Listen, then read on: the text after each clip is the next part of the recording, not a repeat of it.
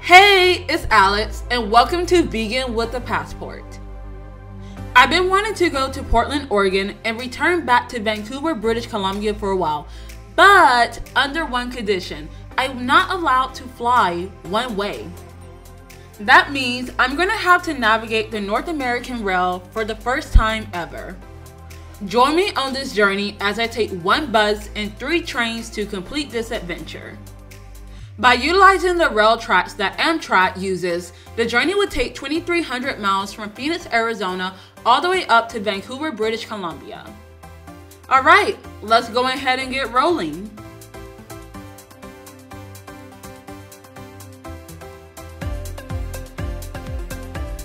Now, despite Phoenix, Arizona being the fifth largest city in the United States, unfortunately, there's no train station here, so that meant I either A, had to take a Flixbus to Tucson, Arizona, or B, use one of Amtrak's services to bus to a closer train station in Maricopa, Arizona. However, due to the higher cost of the train ticket alone, I decided just to head to Tucson. However, this trip was already started on the wrong foot. With Flixbus overbooking tickets, and my early morning bus ended up turning into a late afternoon bus I was just thankful to make it to Tucson on time to catch my train. So, with my Tucson foodie plan out of the window, I quickly rushed to a vegan burger shop and quickly rushed to the train station and also got a sandwich to go just in case if there wasn't food on board, which I was thankful to get. Trust me, you'll see why later. Hello, the Texas Eagle train. This is the train that's going to take us from Tucson, Arizona to Los Angeles, California, the first out of three trains on this rail venture. As soon as I got settled, I immediately ran to the dining car, hoping that I would have a meal considering it was included in my roomette fare.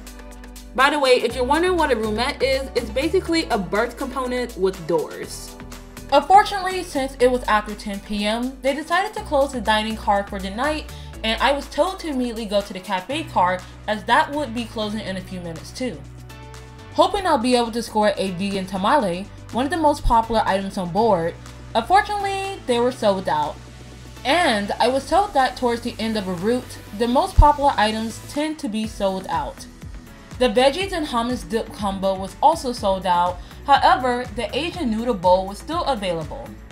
The bowl included vermicelli noodles, crunchy edamame, and raw vegetables including broccoli, bell peppers, and purple cabbage. And it came with a sweet and spicy plum dressing. After adding the dressing, the bowl wasn't bad. Although I did find some of the bites that have a stronger and questionable ginger taste, while the other bites had a more sweeter taste. However, the vegetables surprisingly tasted fresh, which I wasn't expecting for a train. After chowing that down, I went to bed. Or so I tried at least. Now, I've been on sleeper trains throughout Europe, South Asia, and also Southeast Asia, and this was by far the rockiest train I have ever been on. Ever. It was the first time on a train that I had been getting awakened in the middle of the night. After getting 6 hours of interrupted sleep, my body was ready to wake up at 5:30 a.m and we woke up in the middle of Nowhereville, California. And we were greeted by this intriguing view of windmills and mountains. I, along with a couple other passengers, then went to go get breakfast, but then we learned that since our original arrival time was at 5:35 a.m., that breakfast wouldn't be served despite the delay. Thank goodness I bought that sandwich. By the way, regardless of your diet, I really highly recommend you bring snacks and if you're able to, an insulated lunchbox or a cooler. I then took a shower, which I also learned by the way the water source is the same as the drinking water. Should I have had that for breakfast instead? I then arrived back to my room with the seats put in their sitting position and enjoy our approach into Los Angeles at nearly 8 a.m. in the morning or two and a half hours late. As delays with Amtrak are very common, and with an original 4-hour connection to my next train, which would have left at 9.51 a.m., I decided to spend the day and night in Los Angeles instead to secure my roomette. Before leaving the train station, I quickly headed over to the Amtrak Metropolitan Lounge to check out the vegan snacks. There were two trail mixes, a Clif Bar, lemon bars, peanut butter packets, sea salt chips, and also vegan barbecue chips. Afterwards, I left the train station and enjoyed my day in the Los Angeles area and all of the food offerings. The next morning, I said goodbye to my hotel and walked to the train station.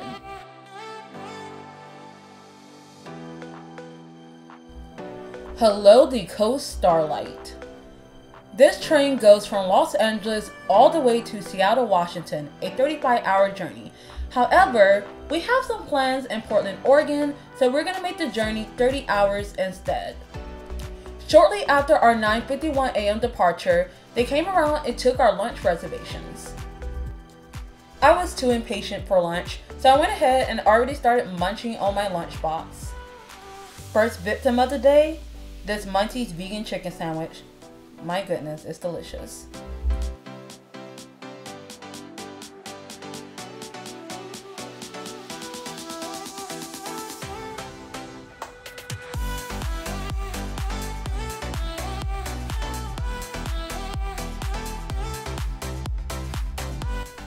We eventually reached our first rest stop in Santa Barbara, California. This was great news for me, not just because I got a chance to get outside, but also because as soon as I got back in the train and it started rolling again, it was time for my lunch. The timing of my lunch was also great because that meant that my lunch would be met with stunning views of the Pacific coast. As there's a kitchen on board this route, that means that your dishes can be customized as needed. Therefore, the burger, the chili dishes, and the salads can be made vegan. As the chili is vegan by default, I went ahead and got a baked potato with chili and removed the bacon and dairy products. Overall, the dish wasn't bad. The baked potato was cooked well throughout and was easy to cut into. And the chili was soft to medium firm, However, I personally thought that the chili could have used some seasoning. But hey, considering that we're on a moving commuter train, I thought they did a fantastic job. Lunch also comes with dessert, but unfortunately, there aren't any vegan desserts on board, nor was there fresh fruit when I inquired about it. I am very grateful for the vegan options on board, I truly am. However, I didn't find a baked potato alone to be filling. Everyone's entrees looked to be on the smaller end portion wise, and the desserts were also small. We eventually entered Northern California, and I couldn't help but continue to keep my eyes glued to the window. Reaching North California also meant that it was dinner time. If you haven't noticed by now, dining is communal and is part of the experience. If there's not an empty table yet, you'll be seated with random passengers. In addition to an entree and, well, the quote unquote dessert option that didn't exist for vegans, but whatever, I digress. For dinner, you'll also receive an appetizer and an alcoholic beverage. For my appetizer, I decided to go with the salad and I omitted the cheese. And it was, well, salad. It did come with balsamic vinaigrette though. If you want to spice things up and feel a little fancy with your appetizer options, Really, the only other option is to order the skewers and remove the mozzarella, so therefore it will just be onion, dry, cherry tomatoes. No hate on tomatoes, it sounds delicious actually. Anyway, for my main dish, I decided to order the plant-based rigatoni bolognese. When I asked about making the dish without cheese, they actually told me that they no longer make the dish with cheese, making it vegan by default. My dinner partner for the night wasn't vegan or vegetarian and ordered the same dish, and when he bit into it, he said, and I quote, Wow, that's pretty dang good. And I gotta agree with him. The bolognese had somewhat of a meaty taste to it, it was well seasoned with herbs, and the texture of the grounds were easy to chew, but still had that slight firmness you have with meaty pasta sauces. Also, the sauce in general was creamy. As we entered the Bay Area and the sun began to set, I started to get hungry.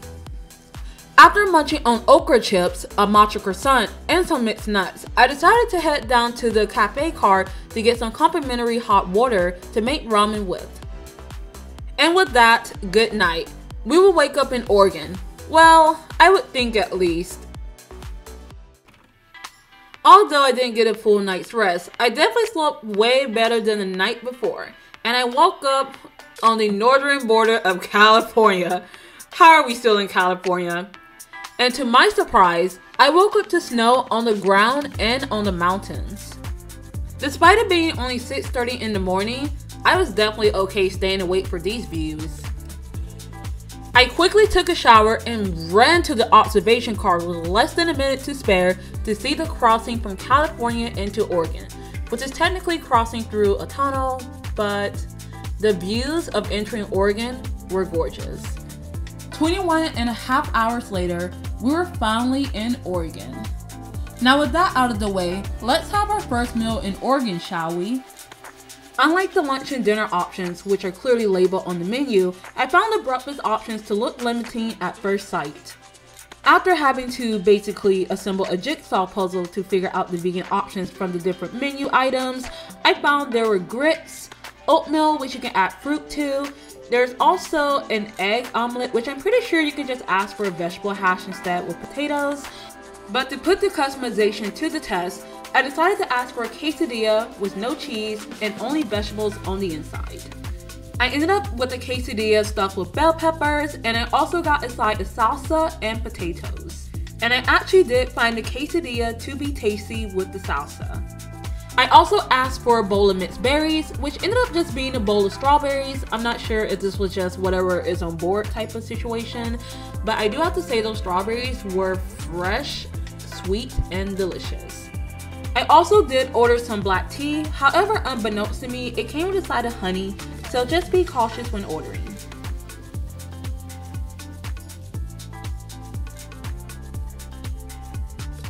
After enjoying my breakfast, I finally got a chance to go to the observation car and relax and enjoy the beautiful views of Oregon.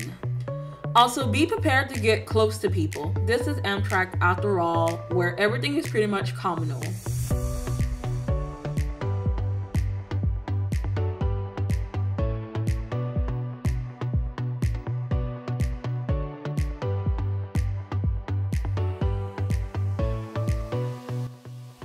As we were pulled aside in Eugene, Oregon, due to a freight train taking priority to our train, it was time for the last meal.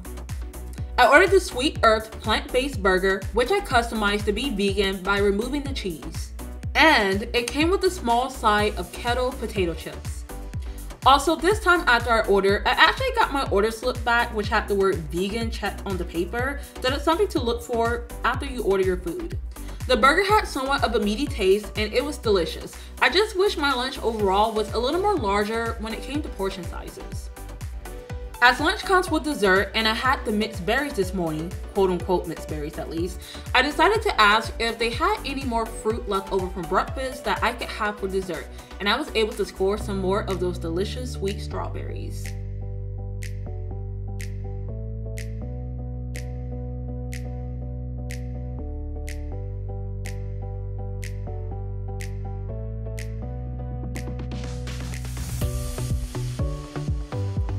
And right after finishing lunch, Portland quickly approached and I got off the train to enjoy some delicious eats in the city for the week.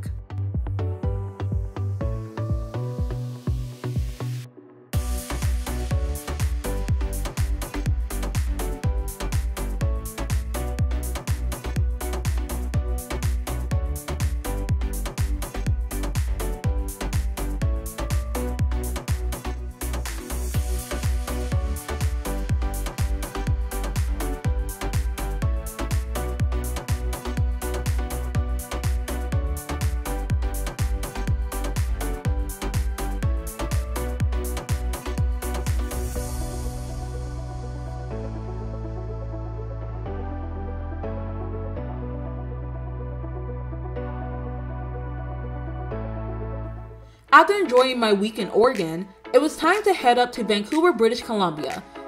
To do this, we'll need to take the Amtrak Cascades, which is a train route which starts in Portland, Oregon, and conveniently ends in Vancouver, British Columbia, Canada. This is the last 8 hours of our 50 hour cross country train journey. Unlike the first two trains, this train doesn't have a dining car. There's only a cafe car which you can purchase snacks from and dine in at your own leisure. For my first meal, I ended up going to the cafe car and just asking for some complimentary hot water. And yes, here I am trying to cook ramen again on a train while it's going at 80 miles per hour.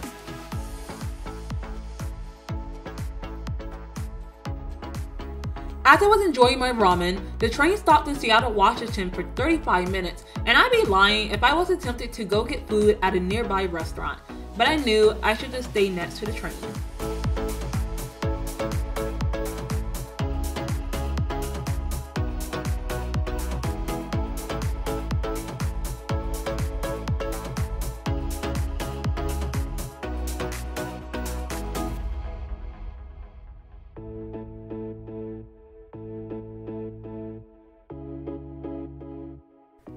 Instead, I decided to head back to the cafe cart and got the vegan tamale. I found the tamale to be okay on its own, however, with the salsa, it was delicious.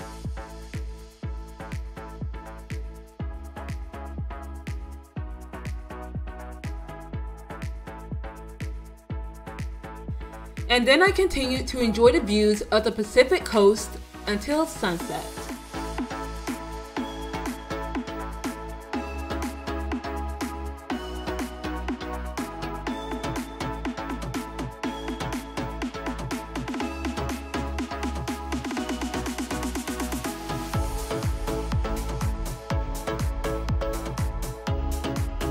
And eventually we cross into Canada. Victory!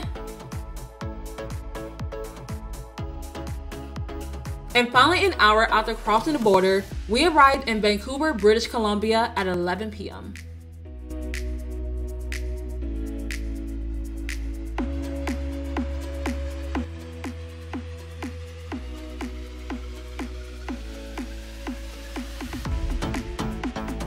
What better way to celebrate than with pancakes and a mocktail to toast to?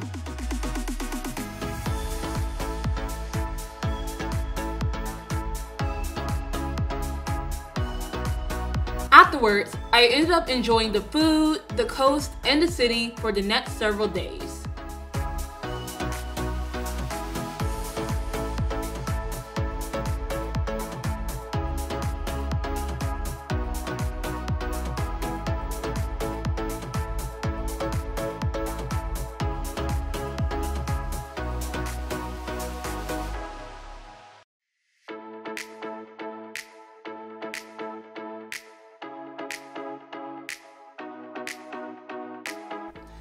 My trip ended with a flight going from Vancouver back to Phoenix, Arizona. And we ended up exactly where we started, right above the bus station at Phoenix Sky Harbor International Airport. And standing in that exact same spot gave me an overwhelming feeling of accomplishment. And I am already looking forward to taking my next North American train adventure. Thank you so much for watching, and if you enjoyed, be sure to stick around for those Vancouver and Portland food videos, and also for any other vegan travel adventures. And until next time, bye!